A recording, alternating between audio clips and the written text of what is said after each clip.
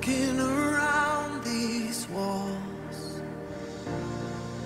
I thought by now they'd fall, but you.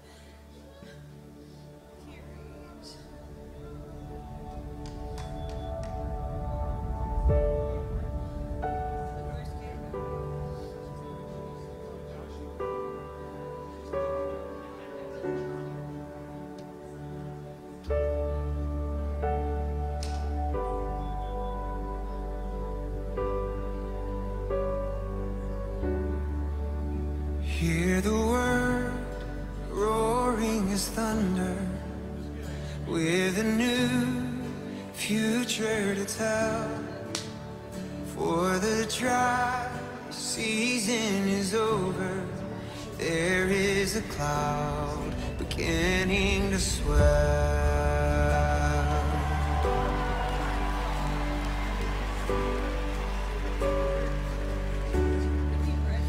To the skies, heavy with blessing, lift your eyes, offer your heart. Jesus Christ, open the heavens, now we receive. Spirit of God.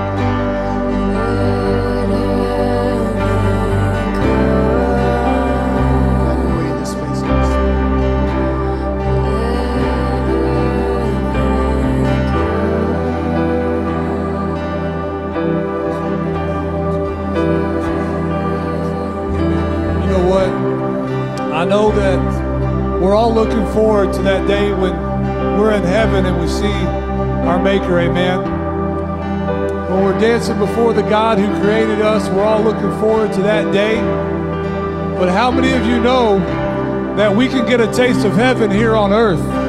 Amen. When that song is saying, Heaven come to earth, as it is in heaven, come to earth. Think about what is heaven. There's no sadness in heaven. Amen. If you're sad, ask heaven to come to you this morning. There's no sickness in heaven. There's no pain in heaven. There's no suffering in heaven. If you're sick, if you're in pain, if you're in suffering, ask heaven to come to you this morning. Amen. If you're depressed, if you're lonely, there's no depression. There's no loneliness in heaven. Ask heaven to come to you this morning. That's what this song is talking about. God says it as it is in heaven, it can be. All we have to do is ask. Amen. We have not because we ask not. We need to ask and we need to raise our hands. And we need to say, God, I receive. Amen. And we need to expect. A lot of times I believe we ask God for things and we don't expect them to happen. Amen. We needed to pray expecting. So I just feel led this morning. If that's you, if you if, if you need a touch of heaven to come to you, whether it's sickness, whether it's depression, whatever it is, if it's something that you're dealing with that doesn't exist in heaven, I want you to just lift your hands to heaven and ask God, God, can you bring heaven down on me? I don't want to deal with this depression anymore. I don't want to deal with this fear anymore. I don't want to deal with this pain anymore. I don't want to deal with this sickness anymore. Whatever your thing is that you know doesn't exist in heaven, ask that heaven comes down and rains on your life right now and gets rid of that. Because I don't know about you, but I've been in the presence of God. I've been caught up in the Holy Spirit, Brother Fred. And, and- and I know that we've seen those services here at Baytown Revival Center where someone has just completely ran into the wall and you thought, oh my goodness, they have a concussion. And they get up and they shout and there's no pain. Why? Because they're in the presence of God. They're in heaven right now. Amen. So we've got to realize that when you're in the Holy Ghost and when you're in heaven, when you're in the presence of God, there's no pain. There's no suffering. There's no depression. But a lot of us deal with the stuff we deal with far too long because we refuse to get in the presence of God. Amen. So I challenge you. They can do this song one more time. I challenge you. I challenge you to get into the presence of God if you're dealing with something. God does not intend for you to be in pain. God does not intend for you to be lonely. God does not intend for you to be afraid. Amen. He wants you to come to Him. Let's do that this morning.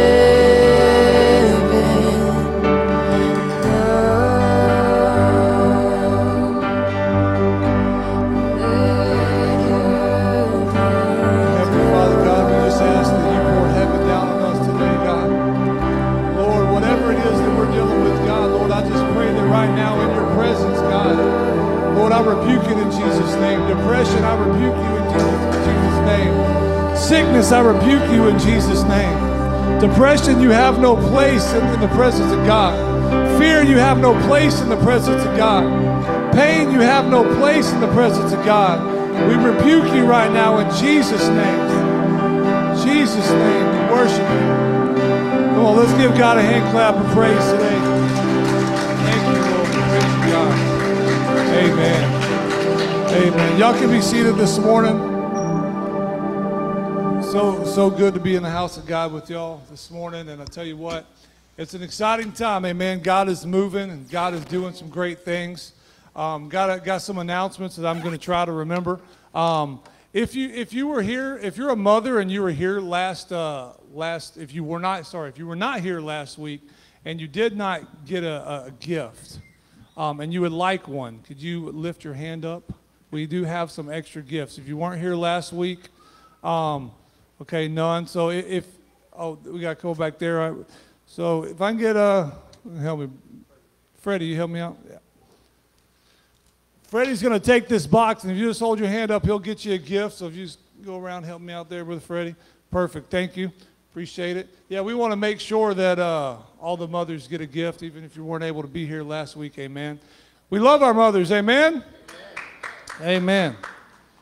Even if you're not the favorite child like me, you should still love your mom. Amen.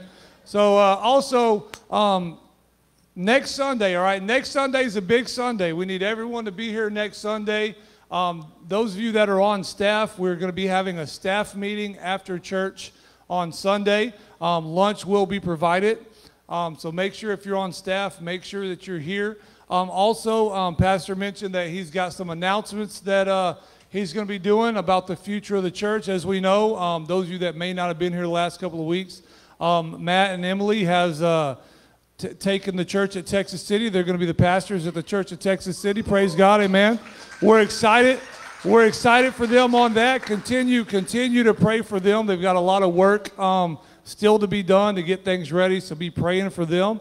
Also, I'm going to do a plug for Matt. He didn't ask me to do this, but if you are willing to help and you've got some free time and you want to go over there and help uh, him get, get things ready over there, I know he would be happy for you to go over there and, and help him. So um, if you've ever you've got some free time and would like to do that, um, just get with him after church and let him know. And I know that he, he would appreciate that. So next Sunday, um, Pastor is going to be doing some announcements about the direction of things. Matt fills a whole lot of holes. Matt does a lot of the church, and so when Matt leaves, there's like 19 holes that need to be filled. Um, so Pastor is going to be sharing some uh, some plans and, and how many of those holes are going to be filled and by whom and all that. So uh, we're excited about what God is doing, amen. And we're excited for Matt and Emily in the next chapter of, of their ministry, amen. And so it's never easy to uh, do something like that and, and, and follow the Word of God. And, and I tell you what, being obedient is, is, is something that is, is, it seems easy, but it's not. And, and, and God will bless our obedience so much, amen. Um, I believe, did I miss anything, Brother Fred? I believe that's, uh, oh yeah, the worship night, that's going to be what, this Friday or next Friday? Next Friday, not this Friday, but next Friday is going to be the worship night at 7 p.m., correct? So 7 p.m. until whenever God says it's done. So we encourage you to be here. Um, they've been amazing. God has, has moved in those. So if you could be here next, not this Friday, but next Friday at 7 p.m., be here for the worship and prayer night. Amen. If you want God to do something in your life, try showing up on a night that you normally wouldn't. Amen. Because I promise you, if you give God more than your norm, He's going to give you more. And He can always outgive you. Amen. Amen. And speaking of giving, it's time to receive our tithes and offerings. The ushers will help me out this morning. It's always a pleasure to be able to give to God. Amen. They're going to put the different ways to give up on the screen. We encourage you to give. Those of you that are watching online, we appreciate your support.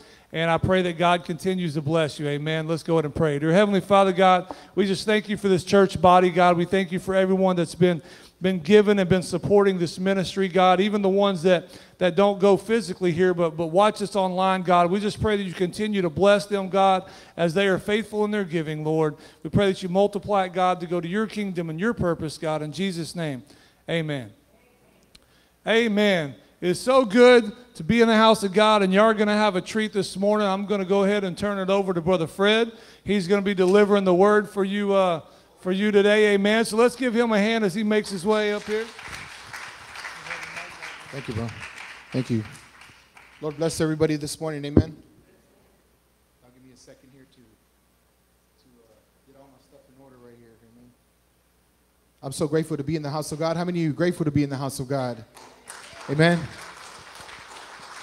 God bless everybody this morning. For those of you that don't know me, my name is Brother Fred Duran. I'm an evangelist. That's my calling. And I'm so grateful to be here in Baytown Revival Center and to be a part of the vision here. Amen. And I'm so grateful this morning for Sister Walker. Sister Walker, we love you, and it's so great to have you and the rest of the family. And every one of you that hasn't been here today, thank you so much for being here. Amen. We love you. Can we give them a hand clap of praise? Amen.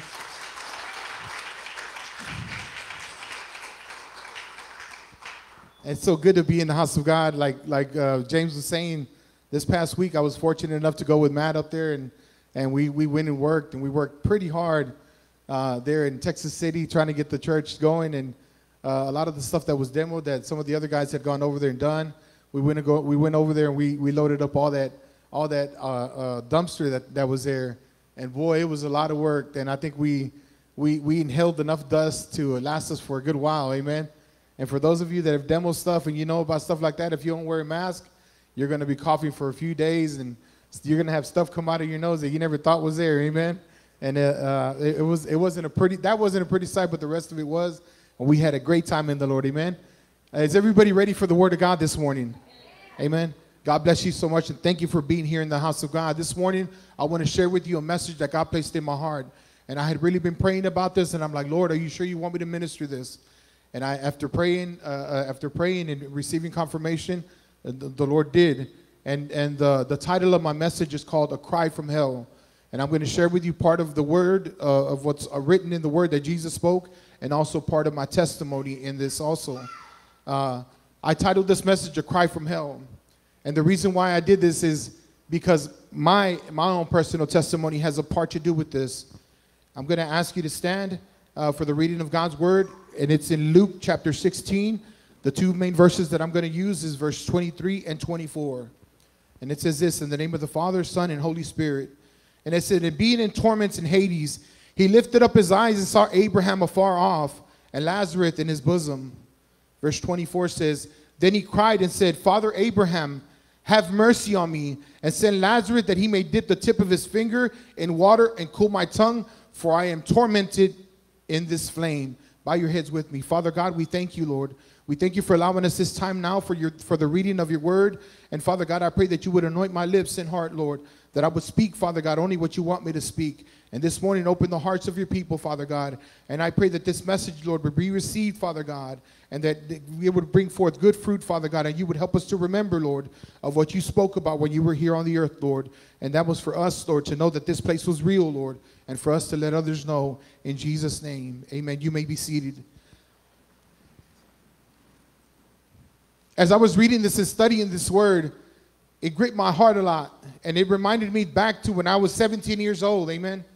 And my, my children, if they were here, if the rest of them were here, they'd be saying, Ooh, that was a long time ago.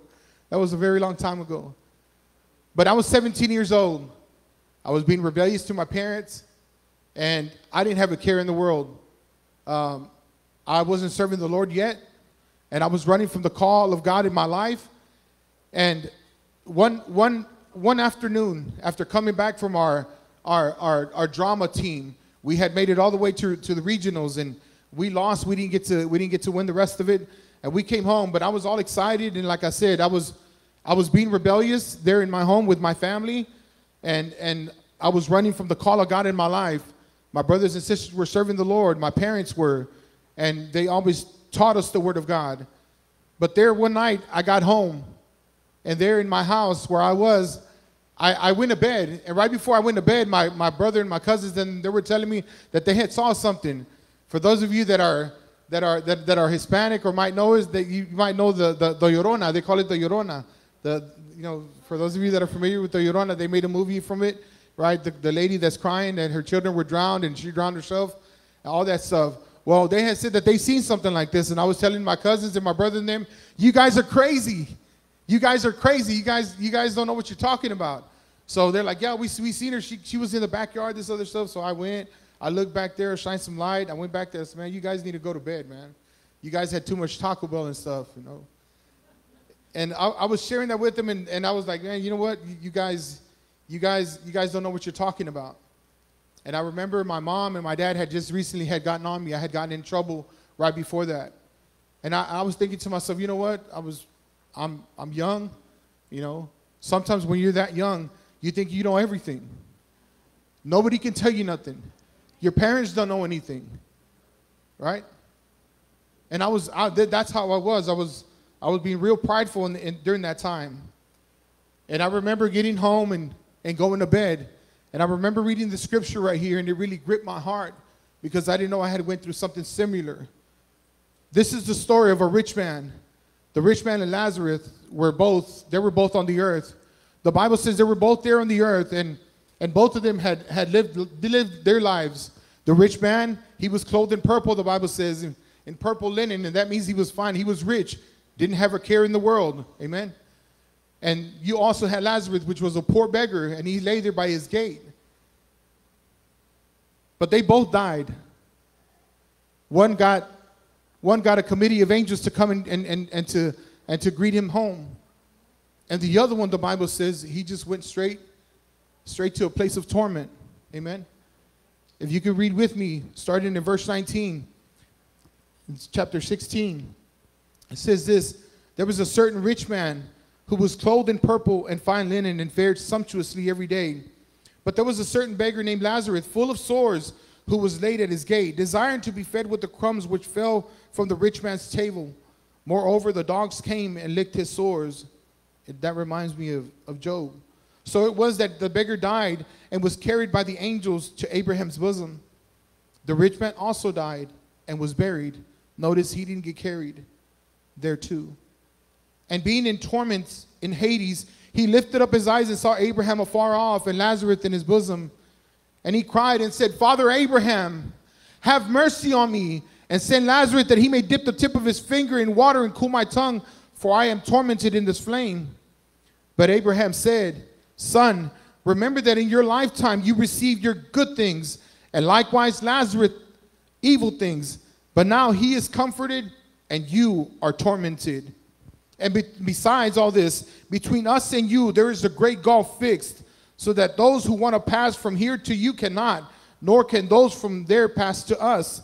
Then he said, I beg you, therefore, Father, that you would send him to my father's house, for I have five brothers, that he may testify to them, lest they also come to this place of torment. Abraham said to him, They have Moses and the prophets, let them hear them. And he said, No, Father Abraham, but if one goes to them from the dead, they will repent. And Jesus spoke this last part of it, and he said, But he said to them, If they do not hear Moses and the prophets, neither will they be persuaded, though one rise from the dead. Here, Abraham was referring to Jesus. Amen. Lazarus received evil things on the earth. Now he was comforted. Now the rich man there in hell, he wasn't being comforted. He was being tormented. And I was looking up the definition of the word torment. And the definition in the Webster's dictionary says it like this it's an extreme pain or anguish or body of mind in agony. And there, in, in, in that torment, it's an, it's an agony that you cannot withstand. Notice he felt every single thing. Every single thing that he felt, the Bible described it.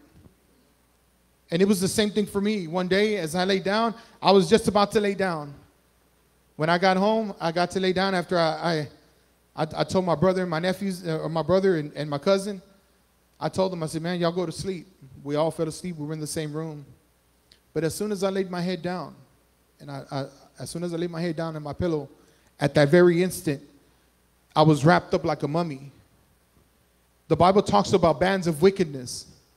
I was wrapped up so much like this that I felt that my own sin and everything that I was going through and what God was about to reveal to me, I was wrapped up by these things. And all of a sudden, as I was laying there, I had shared this with the men before and some other people, but I shared this with you for the first time. And, and as I was laying there, all of a sudden, a hole underneath me, I can't explain it to you. and I can't tell you where I ended up at, but I was I fell straight through, and then and I went deep into the into the heart of the earth somewhere, into a pit. And all I could do was sit there and, and try to scream and try to do everything I can under the sound of my voice till somebody could just, I just felt somebody just needed to come and touch me just a little bit, just to come tap me just a little bit to wake me up. That's how I felt. I was screaming off the top of my lungs, telling my little brother and, and, and my cousin, my cousin Chewy, I'm like, wake me up, wake me up, wake me up. And I screamed and I yelled and I did everything I could with all of my power, but they couldn't come to wake me up. They couldn't do anything for me. At that very moment, I was like, man, something's wrong. Something is so wrong here. And all, all I remember was as soon as I fell, I kept falling until I came to a complete stop. And all I could hear was demons running around me. And I could hear voices saying, like, we got you. We got you. And all of my life flashed back. All of my life that I had lived and my parents and me being in the services and going to the revival services and seeing men, and- men and women of God like Brother and Sister Walker and the rest of them preaching the word of God, serving God, and, and the messages that came and everything else. All of that was flashing before me again. And all I could do was like, Lord, I repent, Lord. Lord, I'm sorry, Lord, that, that I chose to do this. I'm sorry, Lord, that I neglected having a relationship with you and running from you. I'm sorry, Lord, that I didn't obey my parents, Lord. I'm sorry, Lord, that I was doing all these other things and I chose to place you on the side, on the sidelines, and, and not, not to answer your call. All of, these, all of these things were flooding my mind. Pictures of my mom and dad telling me that they loved me and they were praying for me. My brothers and sisters praying for me. Other people that, that loved us and cared for us praying for me. The men and women of God that spend days and nights in prayer in the services and, and doing prayer vigils and stuff. They're saying that they would come and tell us, hey, we're praying for you. We're praying for y'all. We're praying for you. All of that began to flood my mind. And all I could remember was like, man, I messed up. And there's no hope for me here. I don't think I'm going to get out of this one. So I'm like, I, I just cried out. I said, Lord, forgive me, Lord. I'm sorry that I neglected you like that. I cried as best as I cried as, as loud as I could. I screamed as loud as I could. I did everything as loud as I could. Every tear that I had, I cried. Everything else that I had within me, all the power and strength, left my body. In there, I could hear it. I could hear it. God didn't allow me to see it, but I could hear where I was at. And that place was a place of agony. The Bible talks about in the book of Mark and in the book of Luke and Matthew, it talks about the weeping, the, the, the weeping and the crying that's there. The weeping and gnashing of teeth. I don't know if you've ever seen somebody that's gnashing their teeth. It's not a pretty sight. It, do, it doesn't sound good either. And this person is constantly being tormented day and night.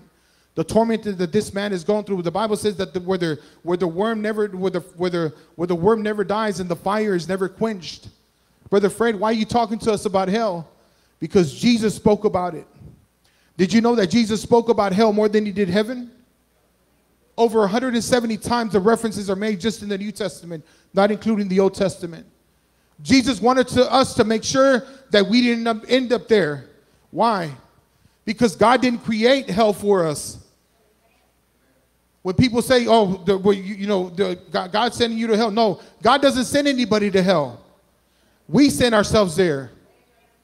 The Bible says that hell was created for the devil and his angels for the for their disobedience. That's who it was made for. But the Bible says also that hell enlarged itself. Why? Because people choose to reject Christ. People choose to live the way that they want to live. I know that this message is not a popular message and people don't want to hear it. And I live enough hell. I know that there's people who believe or and, and, and preach that hell is here on the earth. And I'm sorry, I'm sorry, but hell is not here on the earth. Hell is in a place where if you die in your sins, there's no coming back from that. Amen? There's no coming back for that. Well, then, Brother Fred, why are you here when, when, when that happened to you? I didn't die in my sin. I was fortunate enough for God to show me His grace and mercy and love that on my calling that I had on my life, He was sharing this with me so that I, I, could, I could get my life right and I can also share it with other people to tell them and let them know and warn them hey, hell is the real place and you do not want to go there. I could hear, I could hear the agony because I myself personally went there. I couldn't describe to you the rest of it. I just know I was in a place where it was not for human beings. It wasn't for us. And the punishment that the enemy has coming to him, he has no idea because the enemy's never been to hell yet. He's not going to go there till after the tribulation. And then after that, the final judgment, which is the lake of fire. So imagine you die in your sins. You go to a place of torment where you're constantly being tormented until the day until the day of judgment. Then after the day of judgment, your outcome is another lake of fire for eternity. Our minds can't grasp that. Amen. We can't we can't grasp that. The little bit of agony that we go through. I, I noticed the other day. I forgot where we were, and I think some of my kids we were watching a movie that had to do with a lot of fire, and one of them said, "Imagine, imagine, can you imagine what hell is going to be like?" And I thought to myself, I don't want to imagine it. The testimony that I share with you, this was like over 20 something years ago. And for me, when I share it, it's almost like if I, I just I had just recently had it, I could just close my eyes and I could see myself there in that in that situation back in that time. It was that real. And I just remember after crying and crying out to the Lord like that, I finally gave up and I said, you know what? This is it for me. This is I'm gonna end up here. This is this this is for me for eternity. I'm eternally lost. And I just remember saying, Lord, forgive me. And as I said that, like I said, I was wrapped up like a mummy. All of a sudden, there was a strap that ripped out of my mouth, and God gave me the word. I remember the words of the preachers who preach revival, tent revivals, and, and all of those messages like that. And, and every time they were rebuking the, the, the enemy or they were casting out demons, they would call on the name of Jesus. And they would say, In the name of Jesus, I rebuke you, Satan. In the name of Jesus, I cast you out. And I remember those words, and those words came to me that the Holy Spirit, I believe, gave me. And that strap, that strap that was around my mouth, or that band of wickedness, popped away out of my mouth. And I, the word came to me, and I spoke it, and I said, I cried out with everything that I had. I said, Jesus. I said, Jesus. And then I said, In the name of Jesus, I rebuke you, Satan. As soon as I said that, everything in me, everything in me, every every every every band of wickedness that that, would, that I was wrapped with, it was torn. I came back up to my body. I jumped up out of my bed and I ran. I ran with everything. I turned on every light on the house. I went and jumped in my mom's bed and I said, I called on my mom, Mom, Mom, Dad, pray for me, pray for me. God, I just went to hell. Mom, pray for me. God just spoke to me. For two straight weeks, I couldn't sleep. I, I, I was sleeping during the daytime, not during the nighttime. I was so afraid, church. I was so afraid that I thought that if I went to sleep, I was going to end up there. That's how, that's how serious it was for me.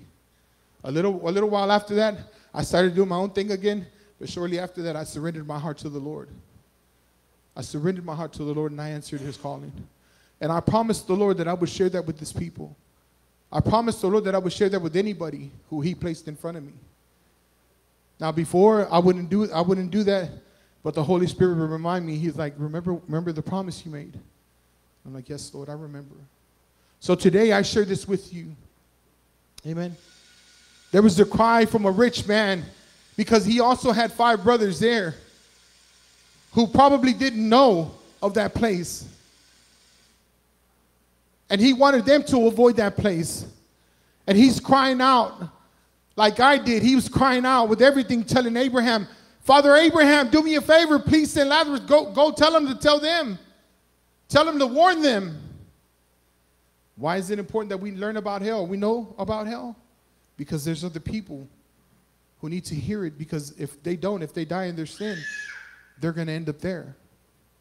Amen. The Bible doesn't the Bible says that God doesn't want anybody to perish, but that all should come to repentance. God doesn't want people going there. That's why he's long suffering. Why hasn't Jesus Christ come back yet? Because God has been long suffering and wants people to repent and to come to him because what's coming the world is not ready for.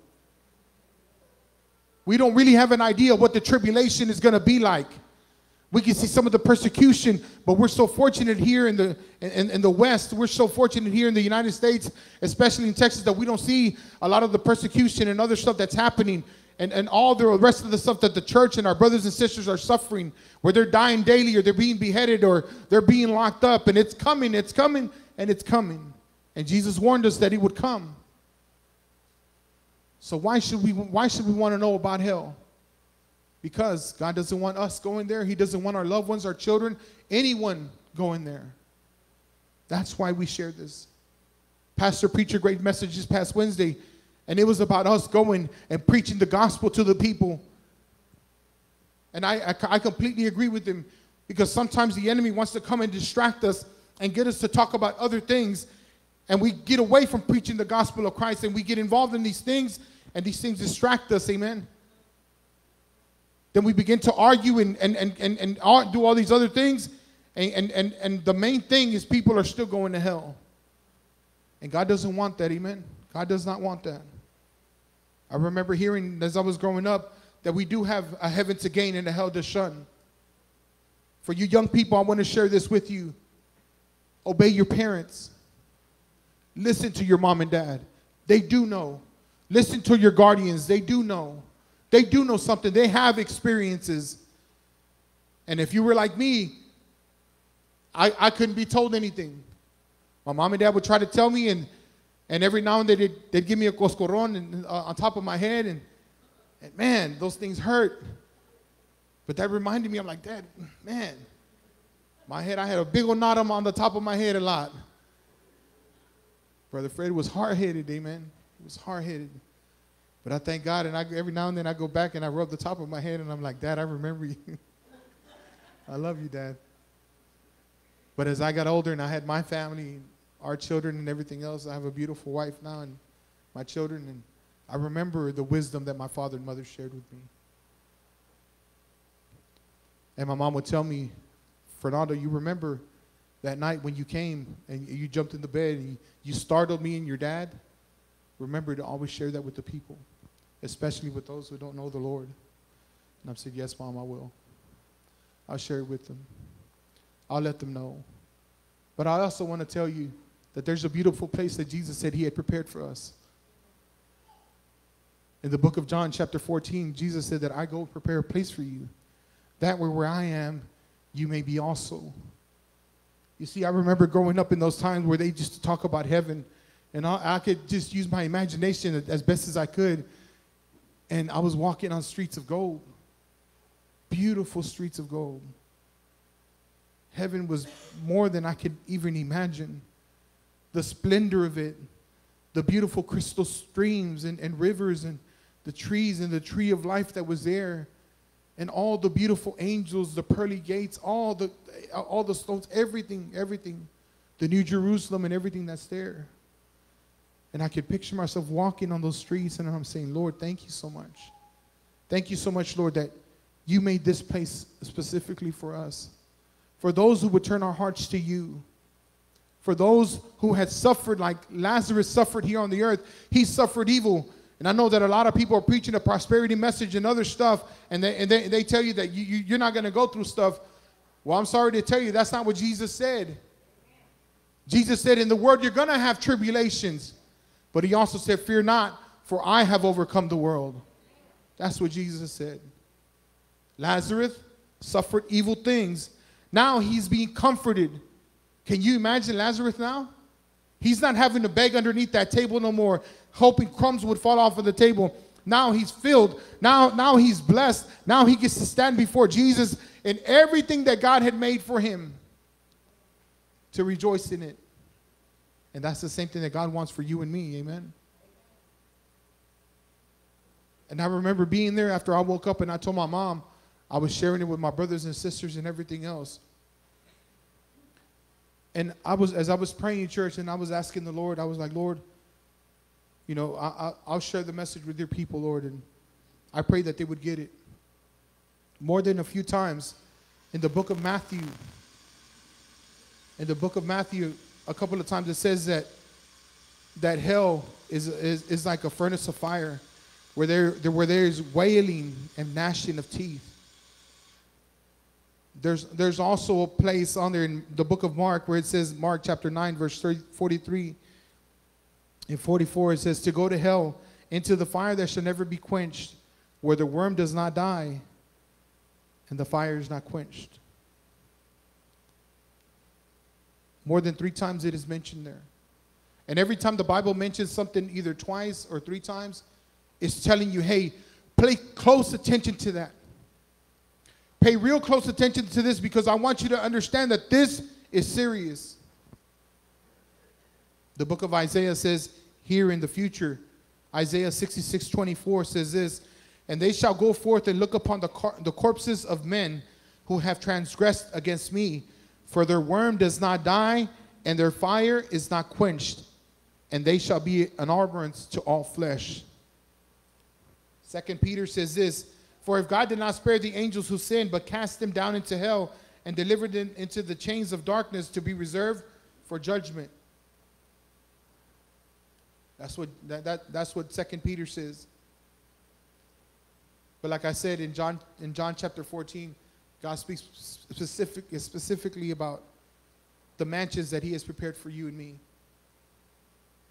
If you're under the sound of my voice, I simply wanted to share with you that if you've never have have have surrendered your heart or made that or made that decision to serve the Lord like that, God wants for you to do that today. Don't leave out of this place because a lot of people are talking about the rapture and the rapture's close. I, am telling you, church, the rapture's so close. But what if what about if you don't get to make it to the rapture and you die before then? Is your life secure? Is your life right? Now we keep now if you were like me during that time too, I was one foot in and one foot out. I thought I could play with God until that day happened. When that happened to me, I tell you now, I don't like missing services for nothing.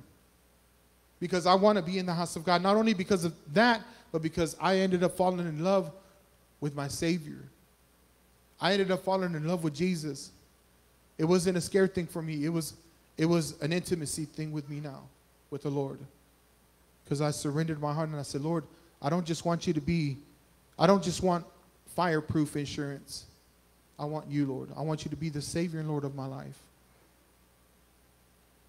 And as I did this church, I tell you, I don't regret one bit of it. I don't regret one bit of it.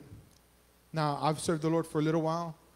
Not, you know, other others that, that I'm grateful that are before me, that are here in the church have served the Lord, and they can tell you. Brother Walker said that he didn't regret any of it. Amen. Everything that he did for the Lord. My parents, I can tell you, when my mother was there, and my father was there, they didn't regret any of it. It didn't matter the agony or the pain that they were suffering in their body. And now I can see them being comforted in heaven. The, the angel committee came and, and greeted them home. Don't you want that? I'm going to ask you to stand, amen.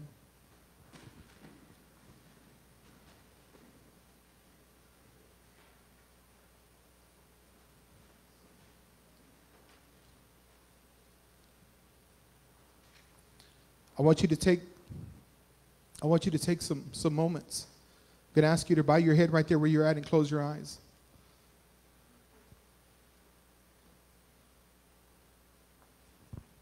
If you're under the sound of my voice or you're watching on TV or you're watching online, sorry.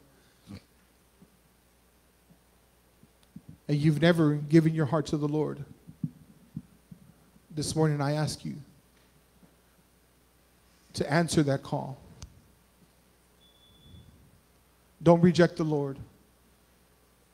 The Bible says in the book of Revelations 3:20, he says, "Behold, I stand at the door and knock.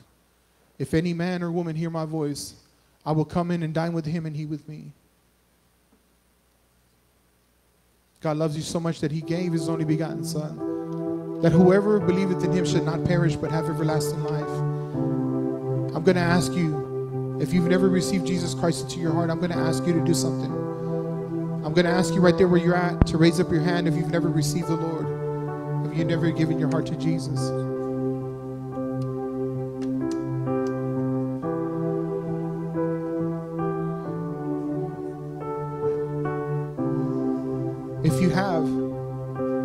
There's no one, amen.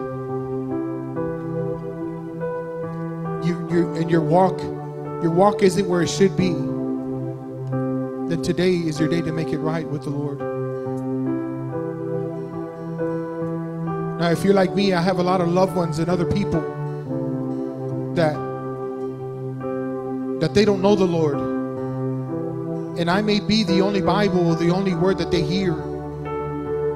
And they need to hear that Jesus loves them. They need to hear that God has prepared a place for them. And they need to hear that there is a true, that, that hell is a real place. And God doesn't want, He doesn't want them going there. And we have to share that with them. So right there, take a moment. Take a moment. And I ask you to search your heart, amen. You see, when I was younger, I was full of bitterness, I was full of anger, and I had all of these things. And I know that if I if I God would have allowed me to stay there, I would have died in my sin and not come back. See, God doesn't want you holding on to unforgiveness anymore. God doesn't want you holding on to bitterness or resentment or any of those things. God wants you to surrender it this morning. These altars are open. If you feel led to come, come. As the worship team begins to sing, amen. I'm going to ask you if you feel led of the Lord to come. We'll pray with you. If you need prayer, we'll pray with you here.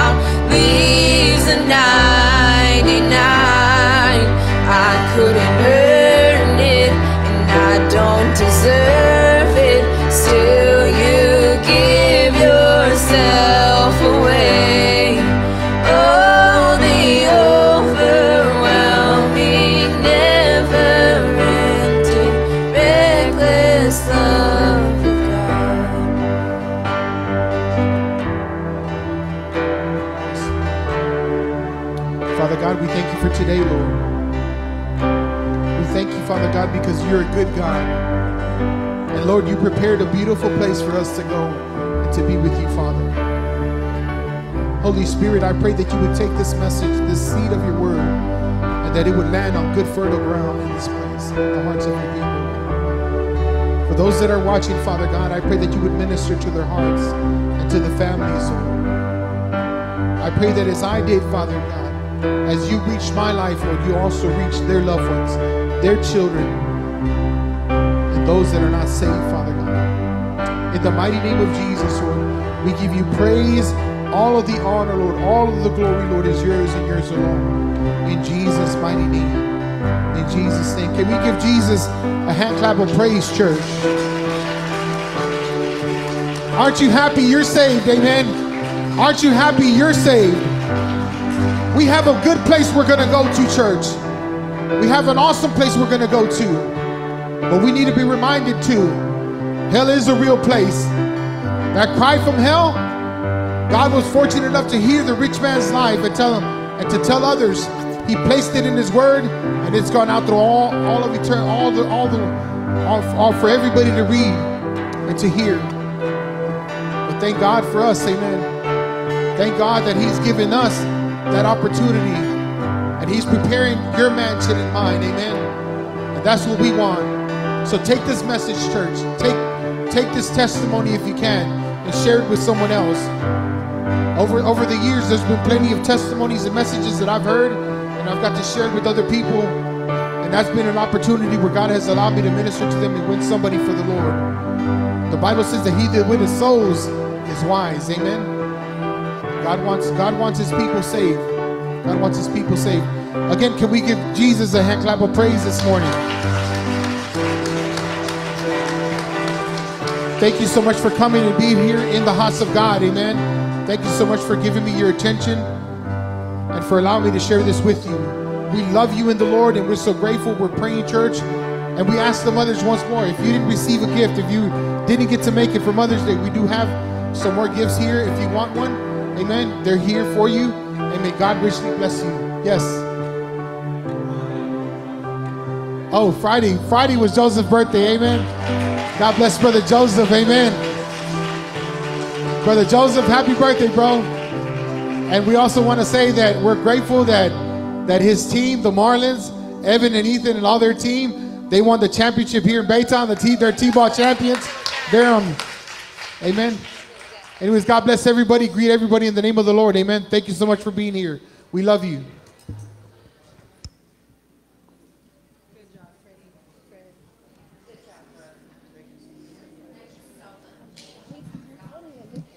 I mean, why you call him Freddie? That's the kid's name.